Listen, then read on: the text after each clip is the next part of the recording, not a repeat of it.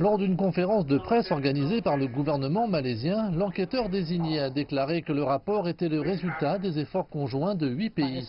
Il a précisé qu'il ne s'agissait pas du rapport final, car l'avion n'a pas été retrouvé.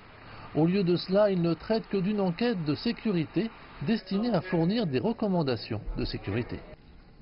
La réponse ne peut être concluante que si l'épave est retrouvée. Et ce rapport est publié à cet instant précis parce que nous ne savons pas s'il y aura une recherche à un autre moment ou s'il y aura une autre équipe qui sera assignée à nouveau à cette tâche. Le rapport de plus de 800 pages réitère l'affirmation de la Malaisie selon laquelle l'avion a été délibérément détourné et qu'il a volé pendant plus de 7 heures après avoir coupé les communications. Cependant, les enquêteurs n'ont pas été en mesure de déterminer qui était responsable. Nous ne pouvons pas établir si l'avion a été piloté par quelqu'un d'autre que le pilote, mais nous ne pouvons pas non plus exclure la possibilité qu'il y ait eu une interférence illégale d'une tierce partie. Le vol MH370 a inexplicablement disparu à 4 ans alors qu'il effectuait le trajet Kuala Lumpur-Beijing. 239 personnes étaient à bord. L'avion a été localisé à plusieurs milliers de kilomètres de sa route prévue dans le sud de l'océan Indien.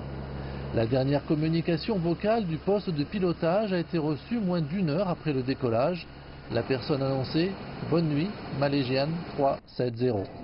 Le rapport officiel très attendu a suscité la colère et la déception parmi les proches des personnes à bord. Il n'y a pas de conclusion, il n'y a pas de réponse. Non, nous ne le sommes pas, pas du tout. Ils ne peuvent même pas répondre à aucune question. Eh bien maintenant, vous savez, je pense que je suis perdue. Rien ne se passe et encore une fois, nous n'avons eu aucune réponse. C'est tout simplement inacceptable, c'est incroyable de pouvoir perdre un Boeing 777 et pendant si longtemps. Nous ne savons toujours pas où ils sont et ce qui s'est passé. Ce rapport sera présenté ce mardi aux deux chambres du Parlement de Malaisie. Le gouvernement a fait savoir qu'il était prêt à reprendre les recherches si des preuves crédibles de l'emplacement de l'avion émergeaient.